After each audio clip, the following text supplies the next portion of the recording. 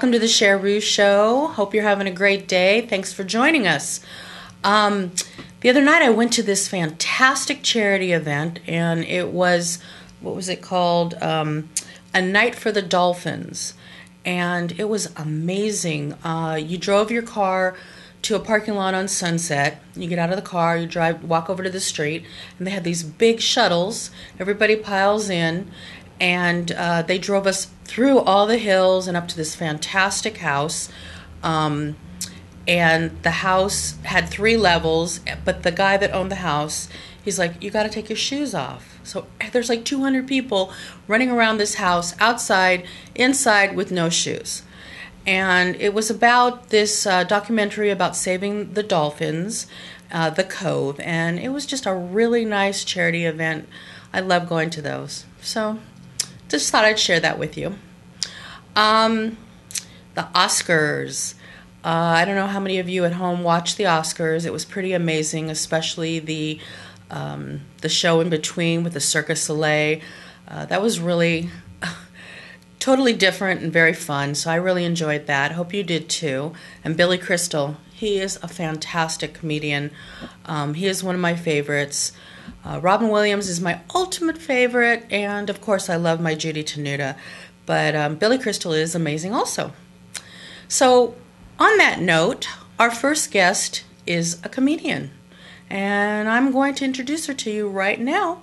Her name is Carolyn Luckett. Welcome, Carolyn. It's so great to be here. Oh, thank you for joining us. So, I see you're one of a kind, lights up the room, and is gracious at the same time. What is that?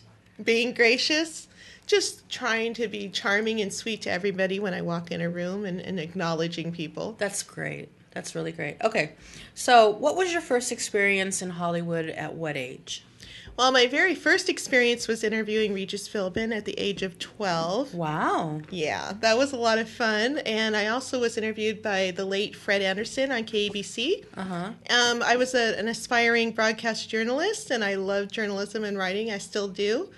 Well, how did, how did Regis Philbin, how did that come about at 12? Well, at 12, you know, basically what happened was I had the interview with Fred Anderson first and he asked me if there was any other interviews I wanted to do, and I basically said, "Well, why not Reach?" You know, and he said, "Okay, we can set that up." And I thought he wasn't, you know, being too honest with me, a twelve-year-old on the set, but he actually called me up, and the next thing I know, I'm on the set interviewing him. A cute kid interviewing. You know, they're Very always a sucker for a cute kid. Um, okay, so you were interested in being a broadcast journalist, Exactly. and so you went to school for that. Um, I didn't. I actually ended up going to just a local community college. I married very young and had my family very young.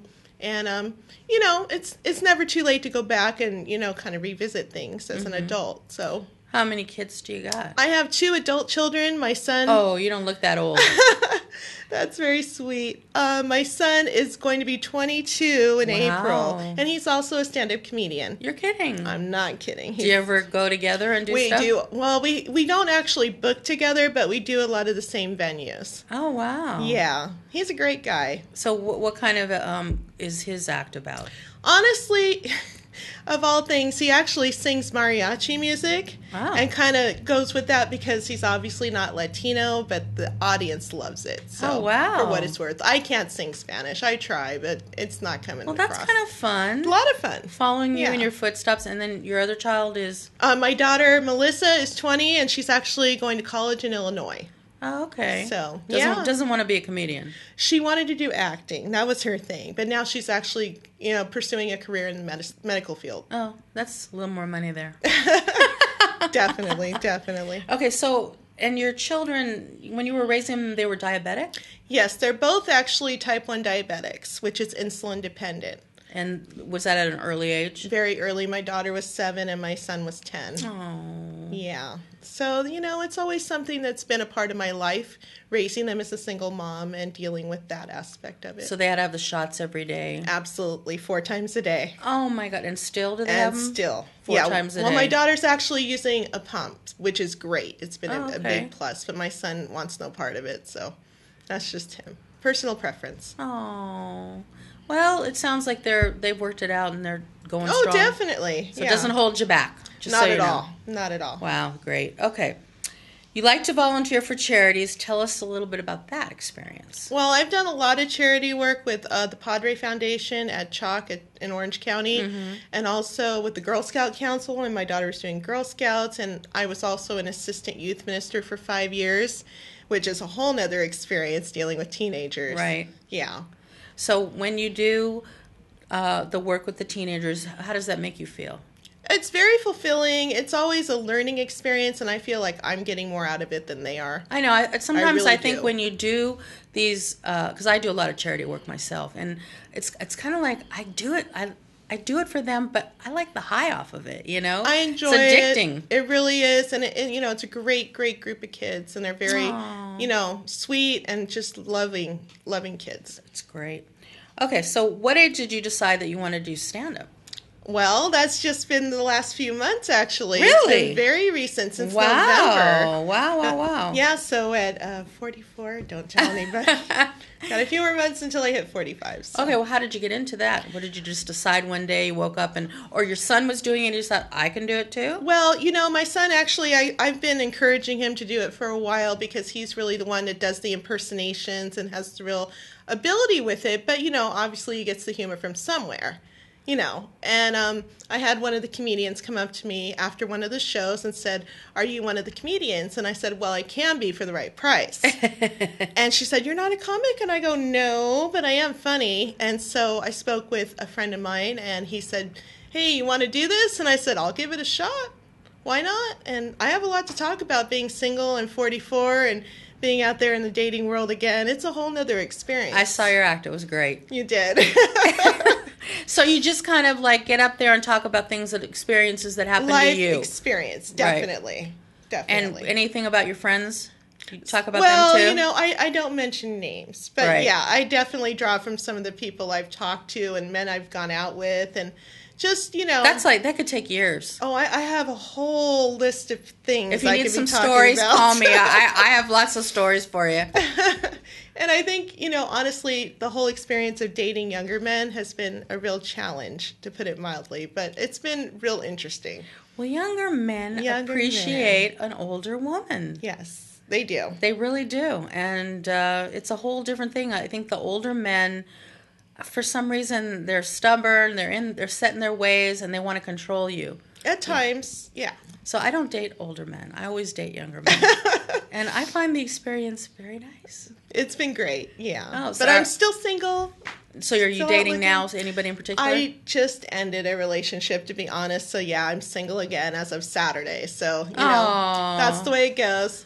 Yeah, it's harder. The older you get, the harder it is. You get more picky. Yeah. Well, no, I I don't know. It's just drama with him. That's all Oh, I can we don't. say. We don't like no I drama. don't want drama. So no, no, no.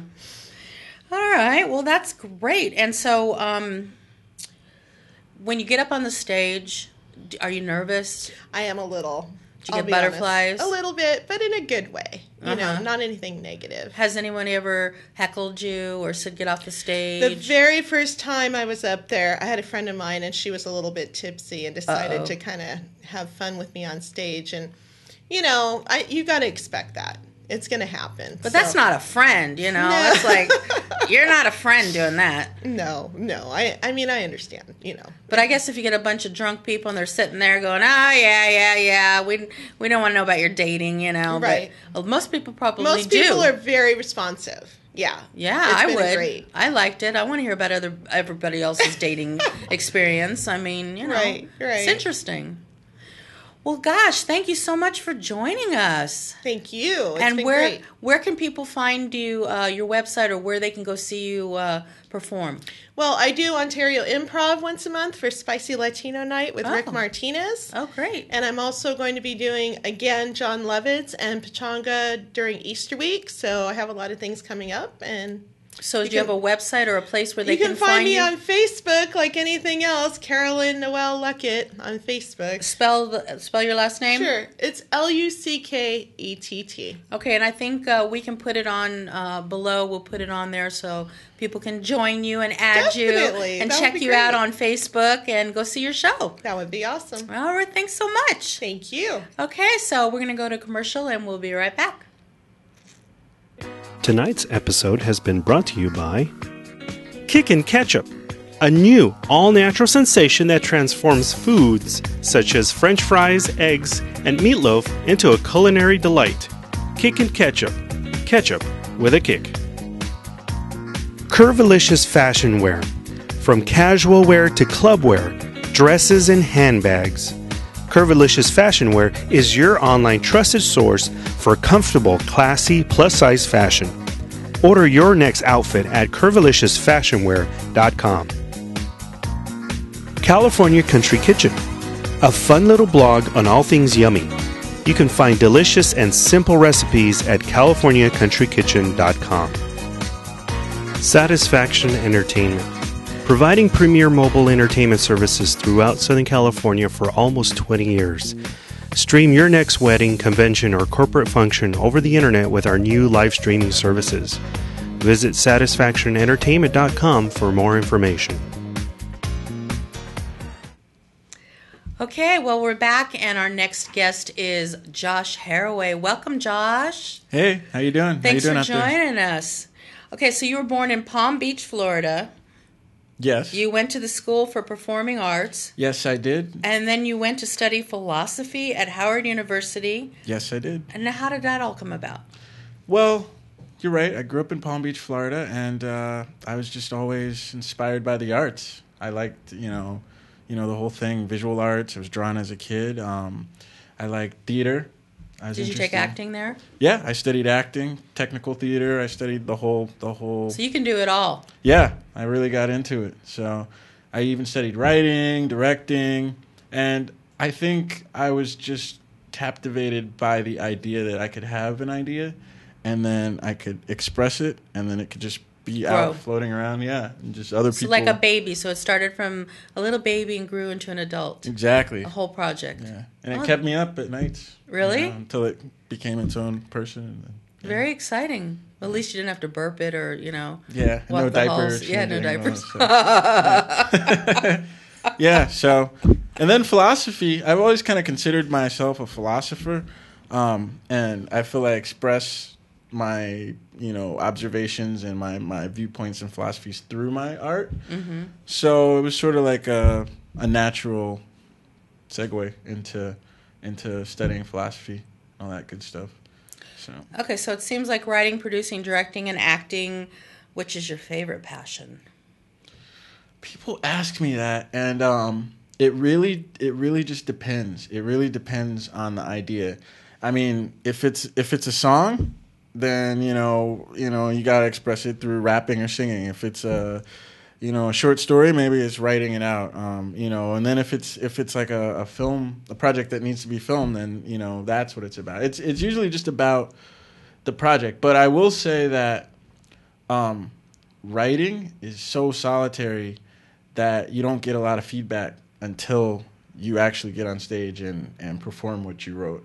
Or um, you know let someone else know about it. So i'd say being on stage is the most instantly gratifying. Like acting um, you know and watching stuff that you've been in with people and seeing it it's like oh yeah and they're like oh yeah that was funny or you know or whatever right at the moment.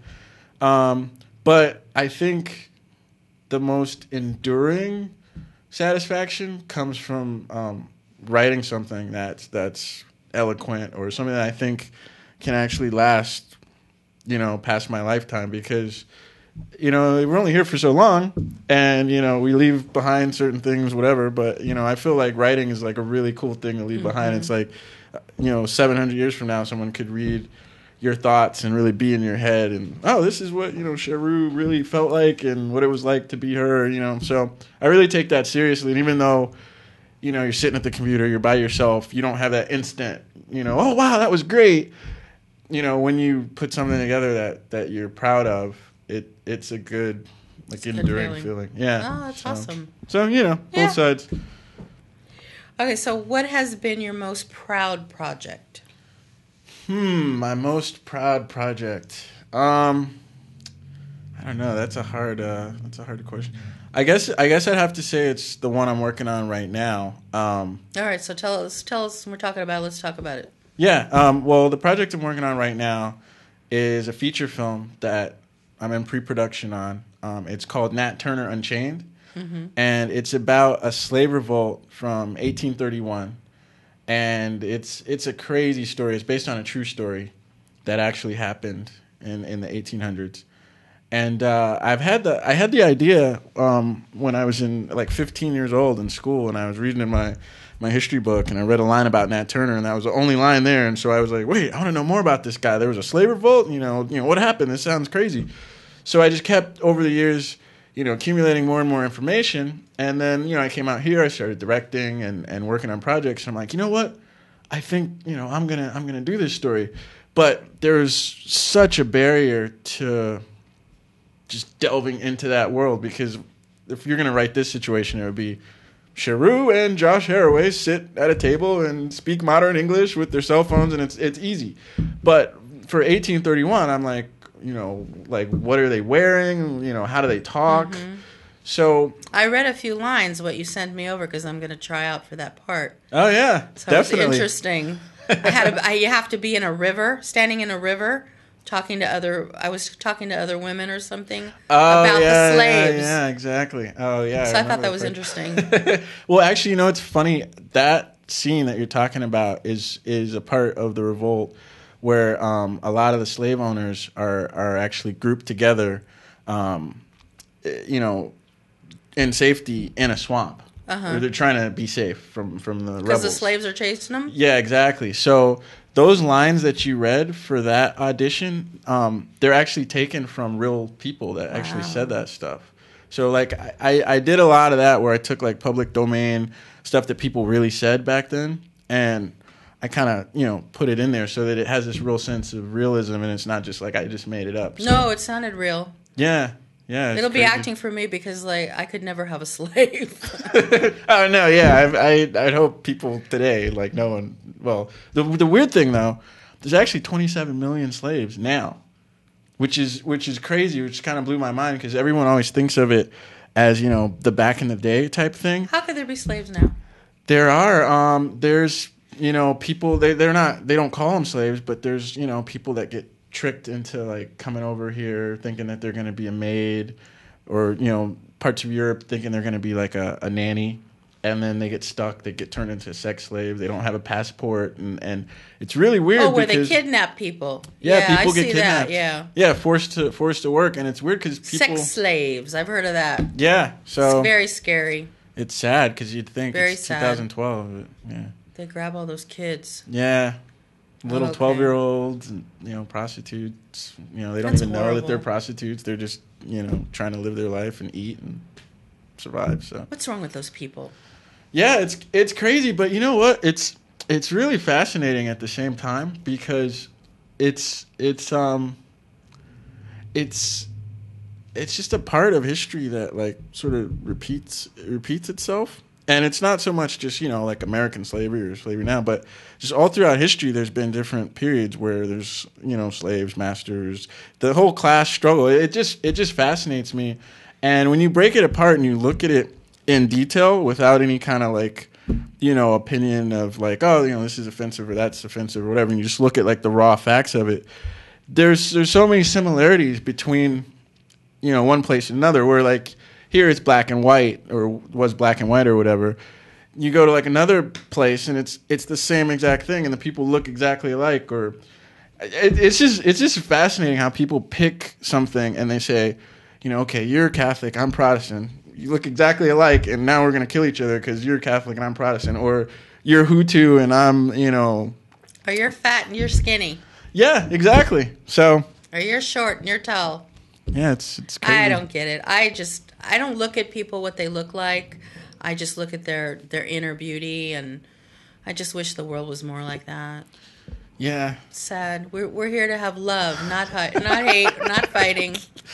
Yeah, totally, totally. So it sounds very interesting. It's going to be a great movie. no, thanks. I hope I It's- get bored. yeah, it's consuming me. You'll definitely yeah, kind of have an audition, and like I'm looking forward to seeing. Yeah, seeing it. yeah. Uh, me too. Okay, so you have a you have an internet uh, series called Funny Horoscopes. What was the inspiration for that?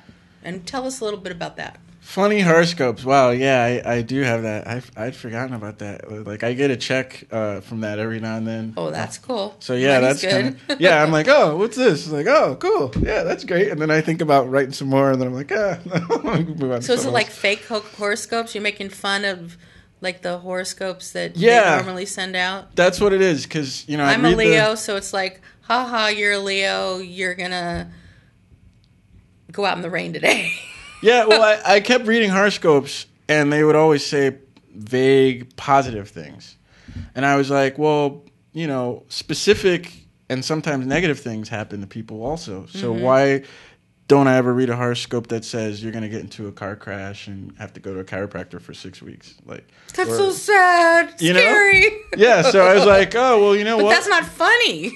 Well, they started turning into funny horoscopes because I would, you know, I would do some good, some bad, some really specific, like, you know, you're gonna meet a girl named Chiquita and know, she's gonna That's rub your funny. back and then you're gonna break up and her ex boyfriend's gonna chase you down. And I can hear know. Jose laughing. Yeah, so stuff like that. Because the more, because the thing is, they're also vague. So the so you take a risk by being really specific, and it's like, wait a minute, you know, my name's not Chiquita. Like, what's your- this is that is funny.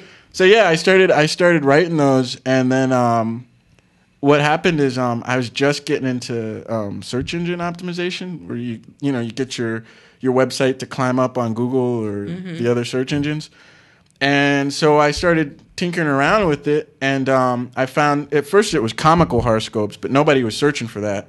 So then I changed it to funny horoscopes, and I found that you know there were thousands of people searching for funny horoscopes every month. So I got my my um, site to come up for that, and and I woke up one day and I checked my my traffic on my website, and all of a sudden there's like all these people there, and I'm just like, what happened? Like did something break? And I'm looking, I'm like, oh, they're they're coming to read the horoscopes. So They needed a good laugh because the regular horoscope, they didn't believe it. yeah, it's like you will meet a mysterious fate in a time I get frame. spiritual ones. I You get do? ones that are yeah, because I'm a Leo, and so it sends me uh, different different things in the spiritual, like you know you're going to be doing good or you're going to be doing this, and it's interesting. Do you believe like that, there's like a, a, a real like backbone to that kind of stuff, or do you do you take it as like entertainment? I no, I do believe that you were born on a certain day, a certain time, and um, there's different paths. You know, not all of them are really good horoscopes, but there are some really good ones out there. But I would I take it with a grain of salt, you know. But I do believe in it. Yeah. Yeah, I, I don't think I really believe in it the way the way it is now, but I do think it's interesting that with other animals, like say tadpoles, depending on the temperature of the water that they're in, all of them will either be male or female, just based on like how hot the water is. So if that kind of environmental, you know, mm-hmm. whatever can affect how they're born, then maybe like I don't know, I don't know about the horoscopes with Aquarius and Leos and all that stuff. I don't know if it counts towards animals. I think it's just people, isn't it? But I'm thinking maybe if that's how it works with animals, interesting. Maybe like Good. gravity could make us like go in one or another direction. I don't know, but Yeah, it's a whole nother thing. yeah, that's like next show. yeah. We'll have to research that. yeah, I have no idea. So. Okay, so now I know you were on a show from VH1 called Seducing Cindy. Well, actually, it was on um, Fox Reality Channel. Oh, sorry, is- Fox it's no longer with us. So, So- yes, okay, sorry. So what what how how did that come about? What kind of an experience was that being on there? You met some great friends because I met some of them. I Yeah. some of them. Yeah, that's right. Uh, Chris Noel, um, Jonathan Daniel Brown, who's in the new movie Project X. He's like one of the, the stars of it. Um, Timothy Zucker, who's on uh, Ice Road Truckers now. Um, So you all go to this is this Cindy's house or is it a house that they simulate for her? Um, well, it was a house I think they rented. Uh-huh. Um, it was a really nice house, and they forced us to live in captivity For together. how long? Um, it was up to two weeks, depending on if if you didn't get eliminated. Right. Did she tan it? She spray tans some of the guests. Oh yeah, I did see an episode where uh, she she did spray tan. Uh, I thought that was quite interesting. You got to see the guy Yeah. kind of naked, and she sprayed. Well, he had Yeah, well, I didn't little, see him naked. Well, little bathing suit on, and she Yeah. sprayed him, and I thought that was kind of interesting. Yeah, he came back and I'm like, dude, are you in blackface? Like, what? why are you so dark? Like, but She likes dark, I guess. yeah, it was it was an interesting experience. It was um, the first uh, reality show I had done where like they actually put you in a in a house and you can't talk on the phone with anyone outside. You can't read the newspaper. You can't watch you know TV or news or even listen to the radio. So What'd you guys do at night? we just got filmed bothering each other and, and getting into arguments and I mean they keep the fridge stocked with beer. So they So- want you to fight. Well, yeah, I think that's the formula. I mean, despite the content that gets produced by these shows, the actual you know process of making a reality show it's it's really deep because what it is is it, it deprives the people of their reality. And and you figure out oh reality is communication with other people. Whether it's watching CNN and hearing something on there or talking to your friend on the phone you're getting information that sort of shapes your view of the world. And and when you take a group of people and you cut them off from any sources of information other than just stuff that happens in the house what happens is someone drops a ketchup packet and then that becomes the CNN moment. It's like, oh my god, did you hear he dropped the ketchup packet? Whereas in real life, you'd be like, oh, you know, Syria, you know, is, is in revolt and there's crazy stuff going Right. on. It's like the ketchup packet, f you, man, you know, and everybody's drinking. They keep the fridge, you know, full of liquor. So you know, you have a bunch of dudes. They're not going to work. You know, you don't have a wallet on you because you're not spending money. You don't have car keys because you're not driving anywhere. So it's it doesn't seem like it, but it really it really puts you in a in a different place, despite the fact that like the end result is people in hot tubs making out and stuff. It's like it's it's not like a deep end result, but like, and then when you leave, I mean, it was it was really weird. Um, you know, and everybody said the same thing. Like you leave, and it's like all of a sudden you're hearing the radio while you're in the van driving to your car, and you're just like, wow, there's music. And then you see girls, you know, and you're like, oh, there's there's girls, other other people, other than that one girl that was in the house. Wow, this is great. And you get the newspaper, and you're just like, you're spending money again. You're driving. You're like, wow, this is crazy. But it really showed me that like everything is like that. And even though the realities that we get used to in our regular life are like a broader reality where we can kind of drive to Vegas or whatever, it's still sort of like a little maze where we repeat the same routines over and over again and we kind of get stuck in this rut where oh i'm going to call Cher Rue or oh i'm going to drive down this street and you feel like oh i'm totally free but but it's more like you know it's kind of like you're in you're in your little thing and it's your reality. Whereas if someone pulls you out and they kill all your connections to those people and like drop you in like a prison or you know over here and now all your connections are new, you're in a completely different reality, and, and that's what reality is. It's all the people you're Contained connected to. reality. Yeah. So was any of the guys really into Cindy? Um, I Besides I Chris. I think that um, that's a good question. You know what? You would have to ask them. My opinion is that um, you know Cindy's Cindy's a great great woman. I know her. She's very sweet. She's she's cool. She's definitely worthy to have people after her. Um, but it it's it's just weird because we only saw her for like you know an hour a day. Oh, you know what I mean? Or like you know two hours or something. So most of the time you're in the house with all these knuckleheads, you know, and Mm-hmm. everybody's drunk. I don't drink myself, so it was kind of like they couldn't. The producers weren't really gonna get like me like running around acting stupid or whatever, but everybody else was. And it's just kind of like very entertaining. yeah, that's that's entertainment. So I, it was it didn't seem to me like it was so much really about Cindy. I mean, like one of our tasks was to go masturbate to one of her uh, Playboy magazines into vials and then turn those vials in so that our sperm counts could be measured. And they had some extra. Okay, that's stupid. yeah, it's that that's what they That came up with. stupid. And one of the extras, or, or whoever they got, an actor or whatever, is wearing like a lab coat and acting like he's like measuring the sperm count. And it's like, look, you know, I don't think that's a real doctor, and I don't think he could really measure all I don't think anybody counts. cares about that. Yeah, I don't. I don't think so either. But that's the kind of deal that I missed that on. episode. Thank God. That was that was episode number two. I missed it. Yeah. It's okay. Yeah. But it was it was a cute show. And you guys were all great. Yeah, it was it was funny. I mean, I, I gotten recognized off of it. So you enjoyed it. It, yeah, it was definitely um, a valuable life experience. I'll say it like that. There's a little fly in here.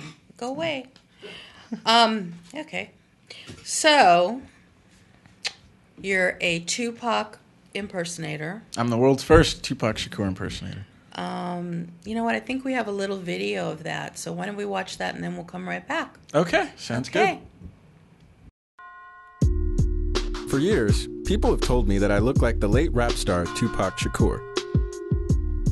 So last year, I put on a bandana, glued a nose ring to my nose, gathered together a couple Mercedes Benzes, a hot porn star, and shot a lip sync music video to one of Tupac's popular tunes.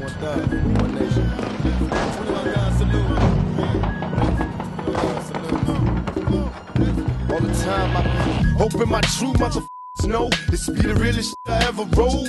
And that's how I became the world's first Tupac impersonator. To the truest shit I ever spoke. 21 guns. My name is Josh Harraway, H A R R A W A Y. and this is Tupac Alive.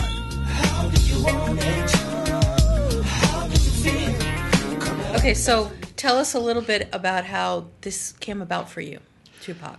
Um, well, about six years ago, um, I was directing music videos, and uh, everywhere I went, um, no matter what club or restaurant, like girls would come up to me, you know, bouncers, and they would say, "You look like Tupac," and this would happen repeatedly, maybe you know, two, three times a day. And you know, I'm not Tupac, obviously, and I, I had been a fan of Tupac's, but I'm I'm very you know unique. I'm I'm my own person. I was like, you know, whatever, I'm me. But people kept saying it so much, I was like, you know what? I'm doing music videos anyway. Why don't I dress up like Tupac? See how much I really look like him. Study his movements. Make a lip sync music video. Use my search engine optimization skills to turn it viral, and use that to draw attention to my directing work. Well, what happened is I was shooting the video. You know, I have all the tattoos on. I got the bandana on. I spent three weeks studying his movements and his biography and such.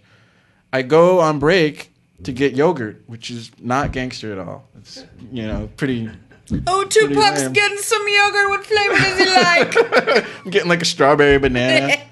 And you know, I'm dressed like Tupac. So all the bag boys at the Ralph's uh, grocery store literally stop bagging the people's groceries, Wow. and they all just come over and surround me.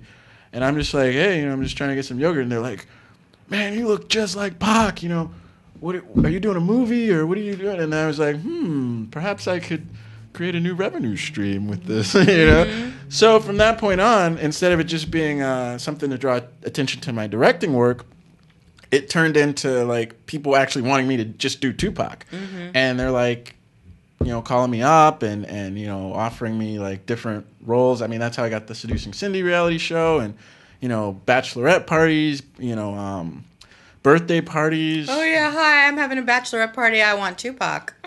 Yeah, that I mean that, cool. that happens, and, and and the cool thing about it is, um, I was the first to actually Do it. start doing that. So Can you sing? Yeah, I well, I don't really sing, but I can I can rap like Tupac. I'm not in character right now, but uh, but and I can also lip sync. You know, so so whatever they want. You know, sometimes people want like a meet and greet where you know Tupac takes pictures with them. People love taking pictures with Tupac. Other times they want um, you know. Me to do the performance. Well, you know, I did a performance. I know at, uh, you did when you Yeah, did yeah. a performance for me. So, so yeah. What do you? What They do you loved think? it. Are you Yeah. kidding? That was a spring fling. yeah, that was so much fun. So, so yeah, it's it's a lot of fun. Um, it it's a it's a cool thing because I mean, if I had to look somebody like somebody, I mean, you know, I could look like Adolf Hitler, O.J. Simpson, or Tupac. I picked Tupac. I mean, so it's like you know, it's like it's I not. want to be Shirley that- Temple. yeah, it's not a bad deal, and uh, you know, it's, it's it's fun. So he's a, he's a, and I think he was a great poet too. So. okay, so who out of everybody that you know you look up to, who who would be your inspiration? My inspiration. Um I'd have to say um, my inspiration usually comes like outside of the entertainment industry. Like I really admire a lot of the the old um, like Western philosophers. Even I mean, I mean some some of like the the Eastern guys too, like uh, like Rene Descartes is like one of my favorites. Voltaire is is one of my favorite guys. Um, I like him because when you read his work now, um, it's it's just good. It's fun. It's it's fresh, exciting. You know, but back when it came out, um, he was sort of ridiculed and he was accused of writing like pornographic stuff and and being too out there and he got banned from France but then when he died and came back they had parades you know so it's it's it's interesting how um you know a lot of those guys who wrote back in the day um they would just really come from their heart and really write what they needed to and they you know they would get put in jail for it you know the guy went to jail for his writing and it's it's it's crazy but I I, I really um Yeah, where's that freedom of speech? yeah, well, they didn't have that back Yeah. then. Yeah, especially in France. So it's like, yeah, but yeah, I, I, I dig that. I think that's cool. And then you know, Descartes. I dig Socrates. I, I just like the guys that um, sort of like came up with their own ideas for things or, or thought outside Kind the of like box. you. Yeah, kind of like me. And that's those are my role models. So That's I'm- great.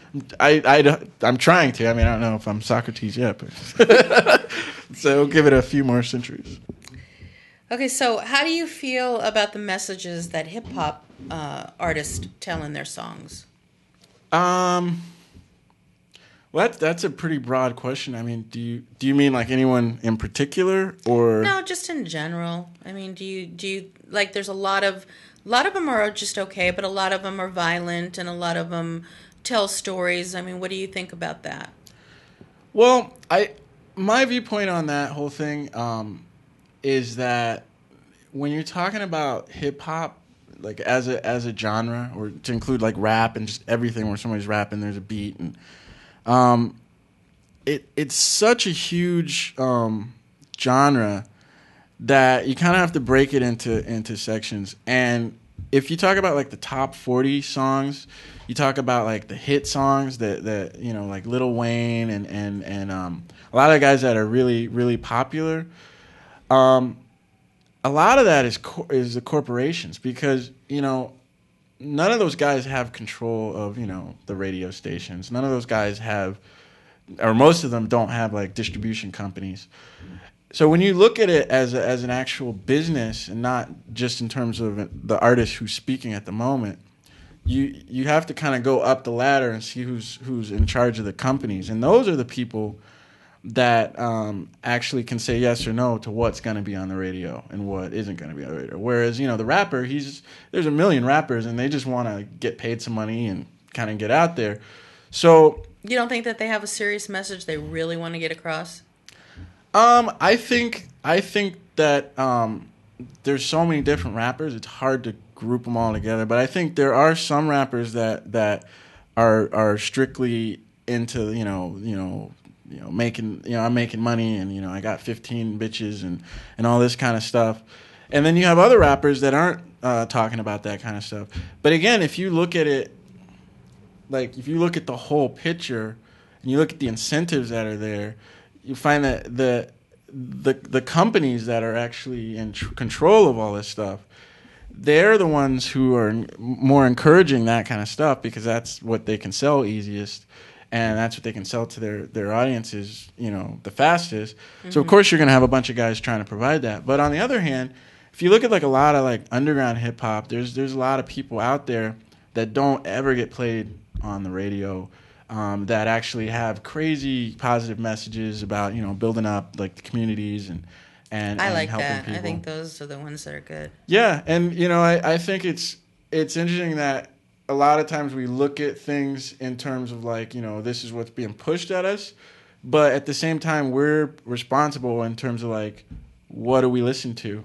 What do we give those ratings points to? Like what artists are we buying, you know, the music from? And so I I mean, I don't a lot of the stuff on the radio today I I listen to some of it just so I can stay current on like what's going on, and and I'm just like, man, this is just garbage. I mean, back in the in the '90s, um, you know, it seemed like what was popular in terms of hip hop and what was actually selling, at least there was some kind of like a like a, a um a lyrical aspiration where like what I'm saying has to have some kind of cleverness or, or some kind of lyrical structure. Like I I tried. Now a lot of the stuff that's like really popular, and this is just my opinion, it, it doesn't have like um it doesn't seem like you know it has a lot of thought process process in it. It's more of like a beat and just throwing some words together. But again, it's you know it's what are people buying? What are those companies? Those few companies controlling everything? What are they trying to sell? and it's it's just uh, that's why I think it's cool that you know now we have the internet. Now people can just kind of make their own music, and if you really like an artist, you can go to their website. You can you know watch their YouTube video. You can you know pay And them support money. them. Yeah, and Mhm. support them. So yeah. Well, thank you for joining us. We uh, really appreciate it. Where can people find you on the website? Do you have your own website? Um, I have my own website. Um, it's uh, harraway.com, H A R R A W A Y.com. But um, if you would like to check out the project I'm working on right now, it's called Nat Turner Unchained, and you can find it at natturnermovie.com. That's N A T and then another T, U R N E R M O V I E dot com. Or if you're having a bachelorette party Oh, and you want Tupac to come and shake his thing, TupacImpersonator.com. T U P A C impersonator.com. Okay, so I want to thank Carolyn and Josh for joining us. And I think uh, we're going to show a little clip of Seducing Cindy on the way out. And as always, thanks and see you next time. Josh, I must admit, when you first got out of the car, I did think Tupac was alive again. Will you please stay? Yes, I will. Okay.